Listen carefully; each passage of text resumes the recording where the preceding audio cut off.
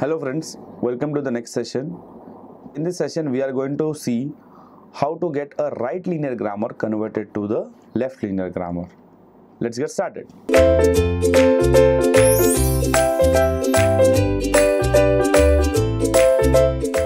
So if you observe the procedure to convert a RLG to LLG, the first step is to get the RLG converted into an equivalent finite automata. This we already know how to convert. We have done a lot of this type of problem in the previous videos. So the next step says from this finite automata, interchange the start state and the final state, reverse the direction on all the edges and finally construct the regular grammar from this finite automata. Let's see a problem on the same. So the question over here says convert the given RLG into equivalent LLG and following are the productions which are given. So as per the step 1 we are expected to convert this into a equivalent finite automata. So let's do that. So we have states that are four. One is S. Next we have B. We have a C, and we do have a D. And D is the final state, and S is my start state.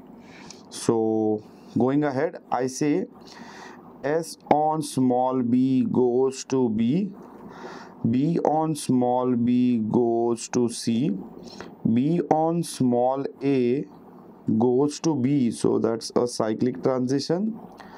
Then B on small b goes to the final state, which we have termed as D, and C on small a also goes to the final state, which we have termed as D. So that completes my finite automata the second step says that once you are done with that you are going to interchange the initial state and the final state. That is now i will be interchanging my s and d. So let me do that. So my d is going to come over here. And of course that will be the final state. And my s will take position of d. And B remains as it is as well as C remains as it is. Now once that is done, there is one more step and that step says reverse the direction on all the edges. So let's do that. So that's the reason I'm sketching the diagram side by side so that we can have a correlation in the diagram. So that is going to take this to this on B. Reversing gives me same. This is C that is A and here it is going to give me a beyond B. So that completes the reversing. Once we are done with reversing, the last step says construct regular grammar from this finite automata.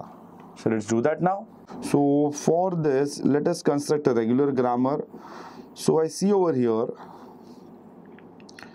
my productions are going to be now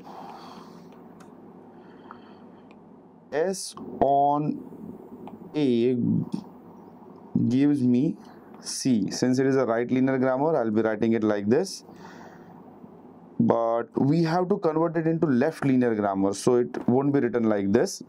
We have to write it as S on A goes to C S on B goes to B. That's it.